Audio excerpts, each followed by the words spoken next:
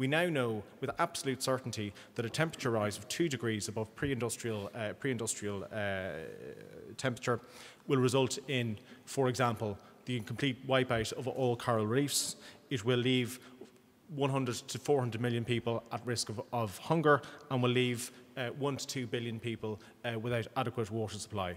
And we are predicted to arrive at that 2 degree limit um, by 2100. So in 80 years from now.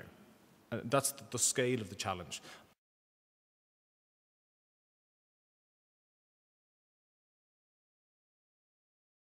the reluctance by governments and the executive to restrain those emissions. It, it's, it's, something that uh, this is all of what I've just said and all of what Professor Alston has, has just said um, coalesces in the National Mitigation Plan. Um, this was adopted in 2017 and the National Mitigation Plan actually approved an increase of emissions over the lifetime of the plan.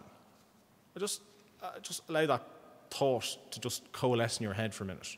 The National Mitigation Plan, in light of all that we know about greenhouse gas emissions and the effects of climate change, the plan passed by the state actually envisaged an increase of 10% in emissions over the lifetime of the plan. And there's, you can pick a number of examples of where we've gone so badly wrong, but I'll just give you four. Firstly, uh, it is a, a, policy to increase the national dairy herd by 50% uh, under the uh, Food Harvest 2020. The Minister for Climate Action expressed his profound disappointment that a peat-fired power station was going to cease operation next year rather than 2030 because an environmental NGO had intervened to point out the insanity of, bur of burning peat.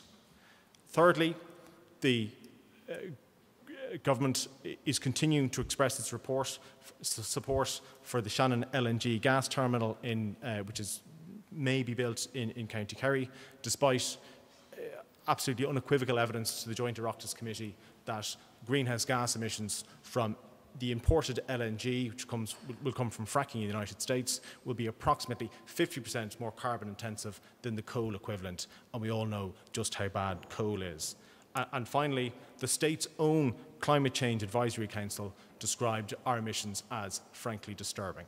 So that's where we are, because where the executive is incapable or unwilling to step in to restrain uh, these consequences, uh, human rights gets pushed, um, willingly or not, into the, into the forefront, into the forefront of the debate.